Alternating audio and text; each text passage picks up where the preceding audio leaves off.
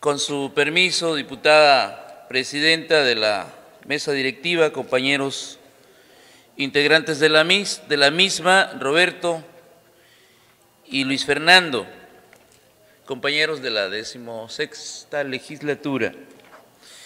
Yo lo que creo, hay un, dicho que dice que la forma es fondo.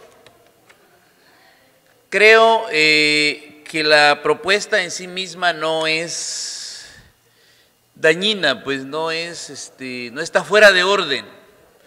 A lo mejor el procedimiento para eh, cabildearla, para procesarla, para consensarla, es lo que a mí me parece que, que no, que no eh, complementa pues la propuesta. Eso es lo que, lo que yo creo. Ahora, e, el otro tema es el estilo. Eh, todos tenemos un estilo de, ser, de decir lo que sabemos, lo que queremos plantear. Y no siempre el estilo es incluyente.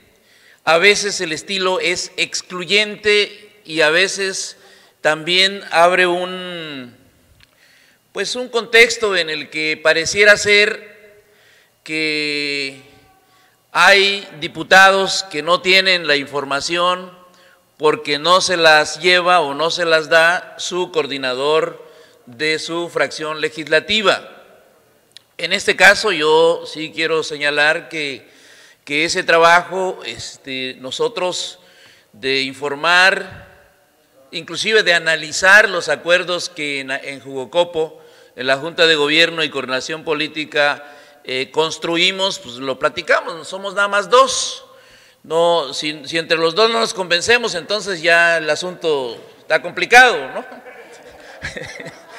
bueno, es mucho más fácil cuando es uno, ¿verdad? Pero en este caso, entonces yo lo que, lo que creo este, es que entre nosotros, pues sí debiera haber comunicación, y entre nosotros debía haber confianza porque se supone que somos pares y como diputado, diputados somos amigos además, ¿no? Este, aunque implique eh, tal vez este, una, una interpretación de la amistad en otro sentido, pero yo sí creo que un amigo es el que respeta, un amigo es el que es leal, un amigo es el que es solidario y un amigo es el que coadyuva ¿no? en construir cosas positivas.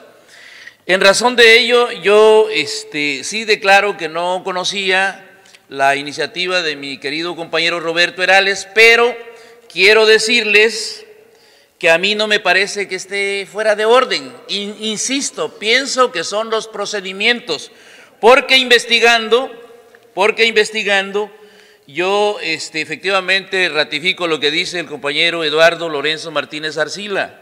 Ya existe en el artículo sexto, en la fracción 17 de la ley fiscal, esta obligación, ya existe.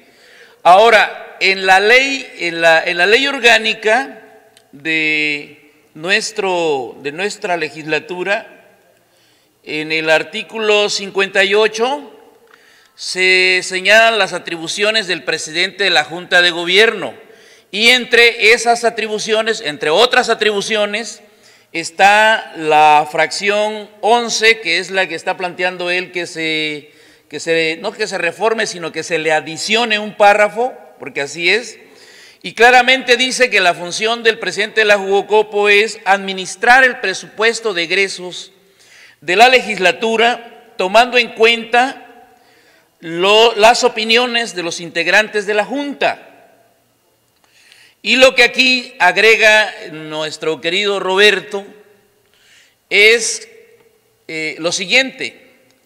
Además de remitir a los integrantes de la legislatura el informe de avance de gestión financiera establecido en la ley de fiscalización, lo que ya decíamos, y la rendición de cuentas del Estado de Quintana Roo es como un reforzamiento, ¿verdad? Yo sí creo, porque también este, sí he leído ahí una nota donde se indican a compañeros nuestros que han sido presidentes de la Junta de Gobierno y dicen cosas que a mí me parece que este, como diputados que somos y por el nivel de cultura que tenemos y por la capacidad de análisis que tenemos de no solamente analizar la coyuntura, sino analizar este, eh, el periodo táctico, el periodo estratégico eh, o el periodo histórico, ¿verdad?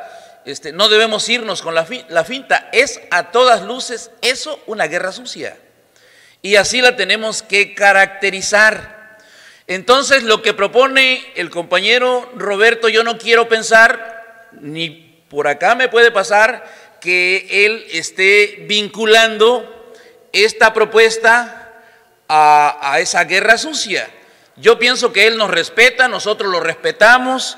Yo creo que inclusive, eso es lo que yo, yo, sostengo, yo creo que inclusive si ha habido algunos exabruptos, algunas rispideces en el análisis de alguna propuesta de iniciativa que él ha hecho, inclusive yo he ayudado, ha ayudado la Jugocopo a que desbrocemos el camino y que no se piense que hay una actitud por sistema en contra de las iniciativas que pudiera presentar nuestro querido compañero Roberto.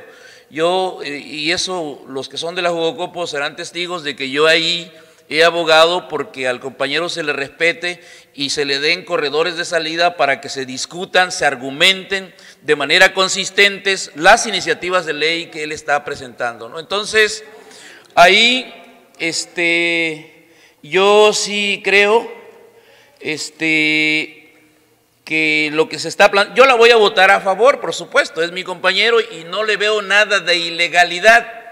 Lo que a mí sí me parecería es que se pudiera manejar en un contexto de que se nos está obligando a los diputados a que pues transparentemos el ejercicio de los recursos que en el Congreso se dan en los ramos que, que hay, ¿no? Entonces, yo creo que es un tema importante. También sostengo que lo correcto sería que elaboráramos una ley orgánica integral con la participación de las fracciones legislativas y de los 25 diputados que nos permitiera efectivamente pues tratar de esclarecer todas las dudas que pudiera generar esta ley orgánica y bueno, este, esta ley orgánica cuando nosotros llegamos ya estaba hecha, y bueno, yo creo que nosotros ya vamos ya por a, salir, ya nos quedan que ocho o nueve meses. Sí, la hizo nuestro. No, no, él, él la coordinó. Él la coordinó porque, digo, yo, no le doy tanto mérito como que para él que él solo la haya hecho, ¿no? Este, yo creo que se hizo de manera colegiada, de manera conjunta, también con las fracciones legislativas que estaban en la decimoquinta. Pero bueno, esa es mi intervención. Yo lo digo porque Creo que el Partido del Trabajo siempre ha estado abierto para el debate, la discusión, el intercambio, la lucha de ideas y todo en beneficio de la, del pueblo de Quintana Roo y principalmente de esta legislatura, ¿no? que no nos veamos así con desconfianza entre nosotros de que nos queremos eh, meter zancadillas o poner trampas, yo creo que no se trata de eso, ¿no? Eh, yo quiero reconocer aquí públicamente de que eh, bueno, yo trabajé muy bien con el compañero este, Edgar Humberto Gas Carceo, trabajamos muy bien, aunque no hubo la comunicación con la compañera este, Areli, no hubo confrontaciones, no hubo choques, hubo respeto con la compañera y pues con el compañero Eric Gustavo Miranda pues también coordinamos bien y ahorita pues estamos coordinando bien y nos está respetando nuestros puntos de vista, nuestras propuestas, con, en el caso del compañero Eduardo Lorenzo Martínez Arcila y la compañera este, Tepi, que es la presidenta de la mesa directiva, ¿no? Entonces, yo creo, compañeros, que tenemos que dejar atrás un periodo que yo no quisiera volver a repetir, nunca y que avancemos con más productividad legislativa en aras de los intereses del pueblo de Quintana Roo, que éste se sienta representado en todas las propuestas e iniciativas legislativas que hagamos. Es cuanto, muchas gracias. Gracias.